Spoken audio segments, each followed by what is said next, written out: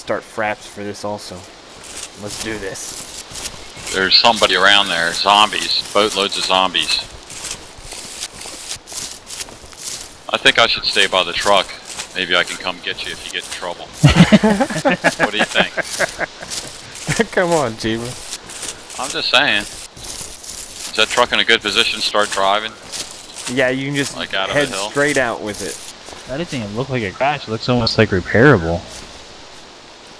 No, but we've got, I've got military zombies all over the place. Yeah, This must be the left. new, what the new crash site looks like, because it still has that machine gun on the side that's. Oh yeah.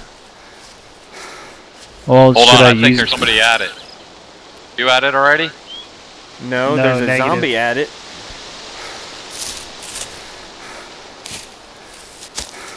Okay, I, it was the, it was just some gear or something there. I thought it was a guy leaning over and looking at inventory. I've got an ammo box over there. I bet you that there's the pilot. I bet you if you kill him, you get them night vision goggles.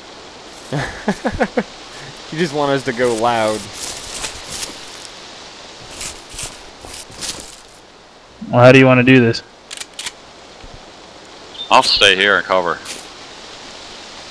That way I got camo and a van and I can come get you. I got ten rounds at the Enfield, but they're not fast firing.